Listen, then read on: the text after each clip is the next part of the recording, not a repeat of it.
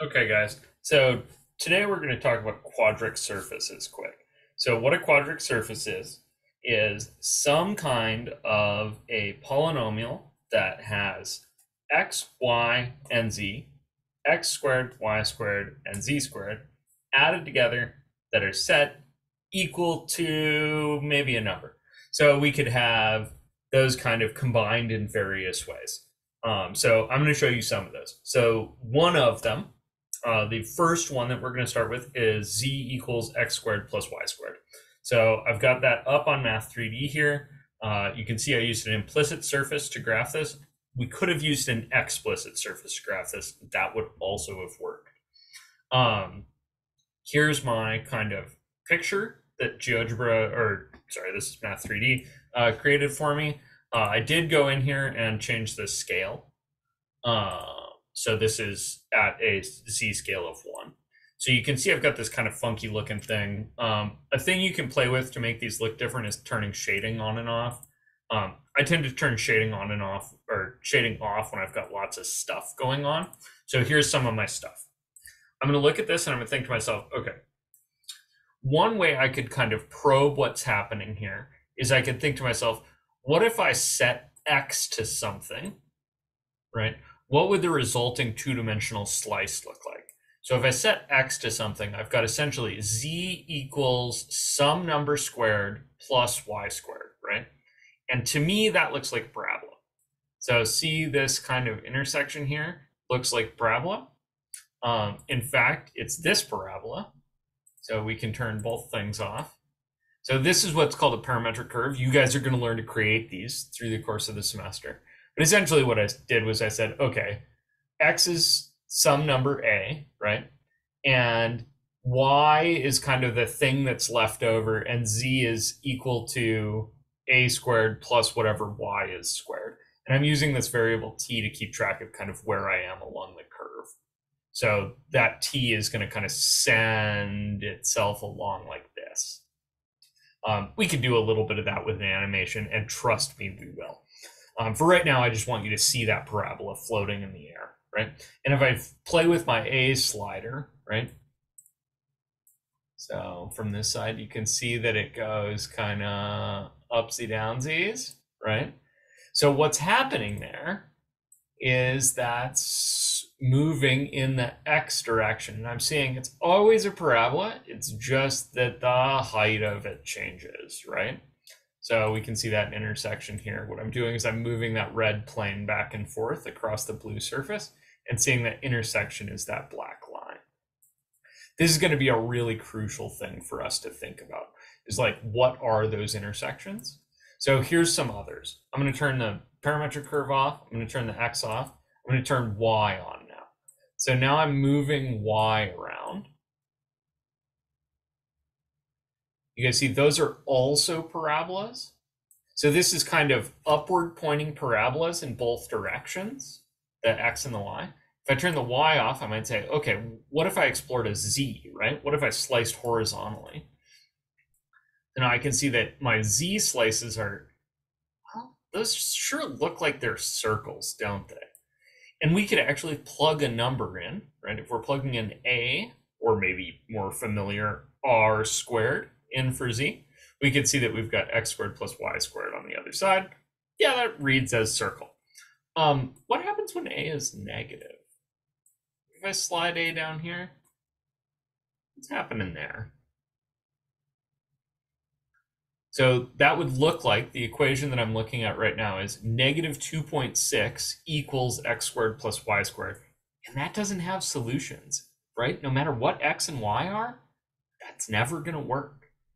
So I'm seeing that the plane, right, doesn't intersect with the surface. In other words, there are no x's and y's that make negative 2.6 equal to x squared plus y squared. So I got an empty intersection. That happens, those are important. This thing here is called a paraboloid.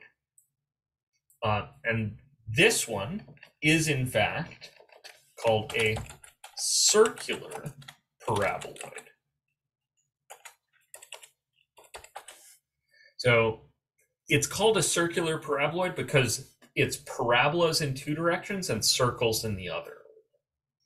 So we could make another one. So let me, turn that guy off. I'm going to add a new object. And this time I'm just going to add an explicit surface because you guys have seen this one.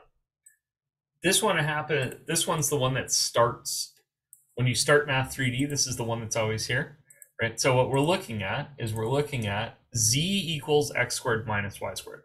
All I did was change this sign in the middle from plus to a minus, and I got this different shape. So I'm going to turn off my z slices for right now. Let's look at x slices. So if we look at x slices, see that parabola there? Right there. If I turn off the x slices and turn on y slices, ooh, that's kind of hard to see. Uh, let's switch that color a little bit. Let's make it purple. Okay, I see the parabola there. And if we change our A value, we see parabolas, parabolas, parabolas. This thing should look familiar. Um, my hope is that you guys have seen one of these before. Look like a Pringle to anybody else?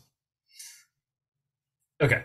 Uh, this thing's also sometimes called a saddle for obvious reasons, because it kind of looks like a saddle. Uh, we're going to talk about this shape quite a bit. Uh, let's look at those Z slices again. So we've got kind of downward pointing parabolas in the x direction.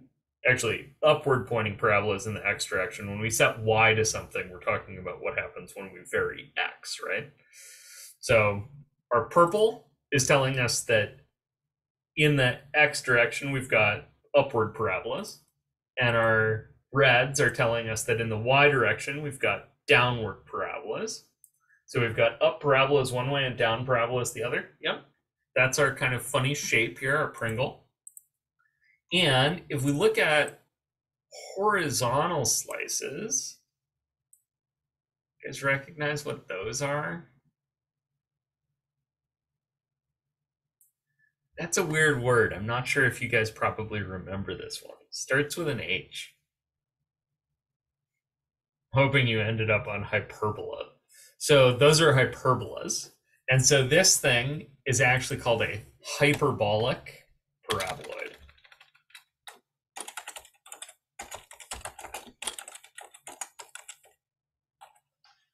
Uh, and I spelled that wrong. Paraboloid. Nope, still spelled it wrong. Paraboloid. There you go. All right. So I've got my hyperbolic paraboloid. I know what that looks like. That's a Pringle chip. I got my circular paraboloid. What does that one look like? You scale down the z. So if we put a point one in here, or maybe a point, let's do point two in there. And I'm going to turn shading on here so you can see that a little bit. What's that thing look like?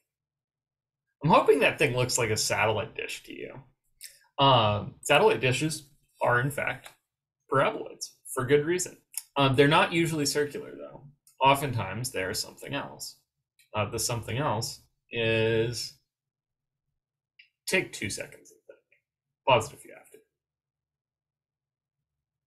Cool. They're elliptical.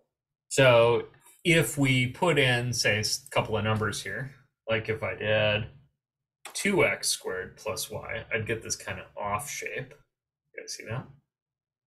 So that guy is a paraboloid where the cross sections, instead of being, oops, wrong cross section. Instead of being circles, they're ellipses. Um, and that holds even if I change my scaling back to normal. So see how that's a, a little ellipse in there?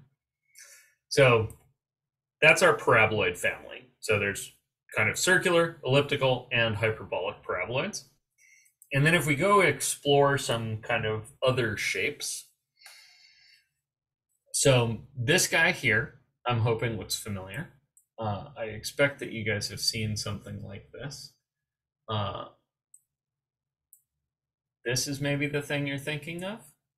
Uh, these are actually really cool. So these are nuclear uh, cooling towers, sometimes called uh, draft cooling towers or hyperbolic cooling towers. Um, these are made in this shape in this shape actually. So you can see that if we kind of slice the Z a little bit, we'd see the shape that we were just looking at. Um, and there's reasons for that. But for us, let's just explore the shape a little bit. So if I'm exploring this shape, I'm seeing I've got x squared plus y squared is z squared plus one. So maybe I should like, let's add an implicit surface that we can slice with. So I'm just going to call this guy x equals a, and I'm going to add a variable slider. I'm going to call a, so I can move this thing around. I'm going to decrease the opacity on this. And I'm going to unshade that one, and I'm going to turn it green. Okay, so you can see the intersection See how that's a hyperboloid again, or a hyperbola again?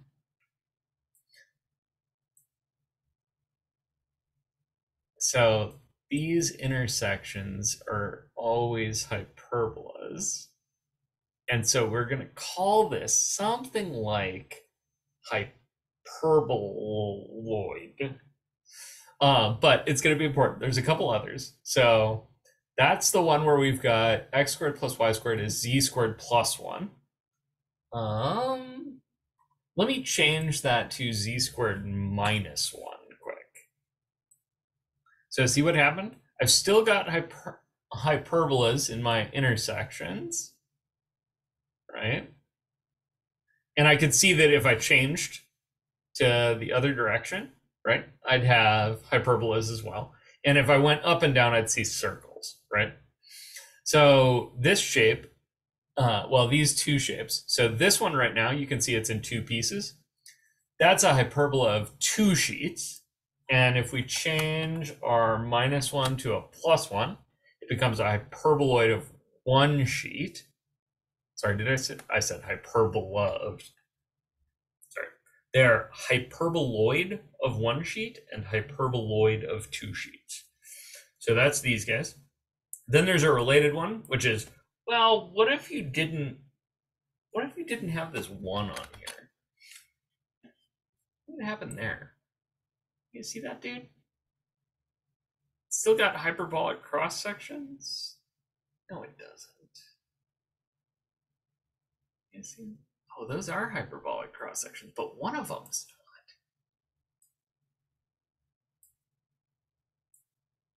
that one right there doesn't really feel like a hyperbola. It's actually just kind of an X. Weird. But it still circles, right? Side the other way. So sideways it circles. Kind of backwards and forwards and left and right, it's hyperbolas. That makes me think these things are probably related. Um, let me discard that guy and put in my, so I'm just gonna change this a little bit. so now I'm looking at the shape that's given by x squared plus y squared is z squared plus a. And I'm thinking, what if I change a? So right now when a is zero, I can see that this is a cone, right? This is kind of two ice cream cones kissing at the tip.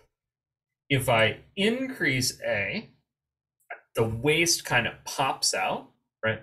And I get a hyperbola, hyperboloid of one sheet. And if I decrease A, the waist pinches down more, but it's already basically zero width, so it disappears, right? And I get a hyperboloid of two sheets. So these are really kind of the same thing, right? We make ourselves a little movie here. We can see the, so as I change A, right? So the value here on the right-hand side is increasing and the hyperboloids get closer and closer together and then they kiss and then the kind of waist gets fatter and fatter right? So that's the hyperboloid family. So we've got the paraboloid family we've got the hyperboloid family.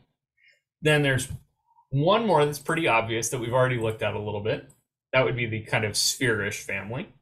So uh, we could adjust this by throwing some throwing some kind of rando numbers on here um, and you'll notice that my shape got real, real small here.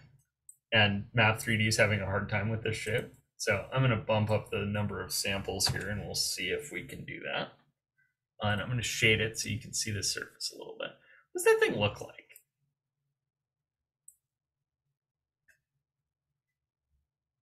It's not really a sphere. It's kind of stretched out and smushy. This is, if I thought about what happens if I set something, if I set one of the x, y, or z constant, right? It feels a little bit like circles, but there's those extra numbers on there. This is in fact an ellipsoid. So uh, these guys are hyperboloids and cones hyperboloid and a cone. This guy, where we're adding everything and setting it equal to a number. So we've we're adding x squared, y squared, z squared, maybe with some numbers on them. Then we're setting it equal to a number. That's going to give us an ellipsoid. And one more thing we can make are these kind of uh, kind of like a smear. So let me show you what I mean by that. Uh, so I'm going to turn our ellipsoid off, and I'm going to turn this implicit surface that I made, z equals x squared on. You can see I've got this kind of trough thing. Yeah, that's kind of tough, right? Let me let me show you maybe the easiest one, and then we'll spend a second with this guy. So I'm going to just add another implicit surface here. And the implicit surface, oh, whoops, I already had one. And the implicit surface I want to talk about is, I just want to talk about x squared plus y squared is 1. So here we are, x squared plus y squared is 1. That should look like a circle. The difference here is that I haven't said what z is. So without telling you what z is, z could be anything. And so that circle gets kind of extruded along the z axis, right? So you can see I've got the circle there that I'm looking down. I end up with this thing. You guys already have a name for this. This is called a toilet paper tube or a paper towel tube, right? It's also called a cylinder. So this cylinder is circular because the cross sections are circles if I look at this guy, z equals x squared, this guy's also a cylinder. I know it's a terrible usage of the word cylinder. I'm really sorry, but it is. And this one is parabolic in nature, right? So this is a parabolic cylinder.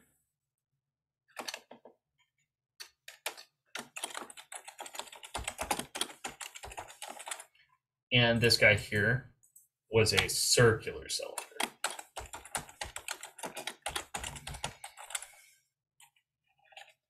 So I'm hoping today what you've got from class is you've got the idea that in order to figure out what something is, we should slice it several times. And the way we slice it is we set one of the variables equal to something. You can use uh, you can use Math 3D to do that. It's pretty slick at it. So that's our we're slicing, right? So we've got slices that we're making, and then there are kind of four major families here. So the four major families are going to be the paraboloids, the hyperboloids, the ellipsoid slash spheres, and the cylinder family. Those are the four kind of families. Your book breaks those out in a little different way, and I do actually want you to memorize the formulas. This will make your life so much easier later.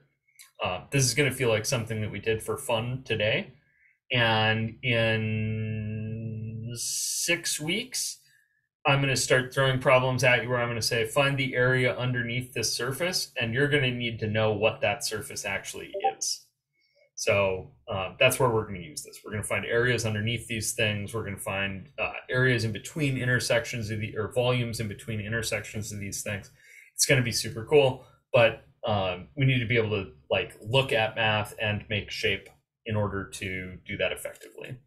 So uh, I encourage some flashcards here make yourself some three-sided flashcards. The three sides on the flashcards should be a formula, a name, and a drawing. Those are clutch. You make little uh, pyramidal flashcards. I've seen students do a good job with it. Um, you guys can do it. Um, do get those things in your head now because it will save your life later this semester. All right, that's it for today.